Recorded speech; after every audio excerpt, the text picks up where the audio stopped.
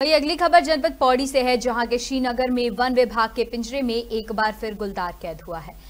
बता दें कि बीते छह महीने के अंदर वन विभाग अब तक करीब छह गुलदार पकड़ चुका है।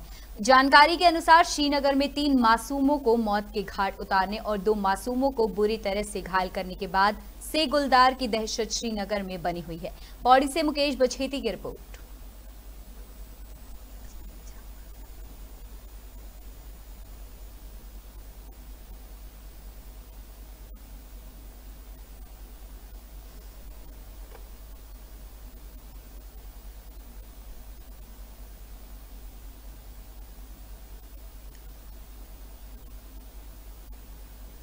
जो दो घटनाएँ पिछले महीने में श्रीनगर क्षेत्र में हुई थी, उसके बाद वन विभाग द्वारा निरंतर प्रयास किए जा रहे थे।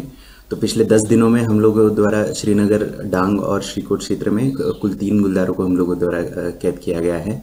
कल रात में भी जो हमारे पिंजरे वहाँ लगे हुए थे, उसमें एक गुलदार की फंसे हुए फंसे होने की सूचना हमारे पास आई। सुबह मौके पर टीम पहुँची और टीम ने गुलदार को जो है सक्सेसफुली पौड़ी रेंज नागदेव लाया गया है।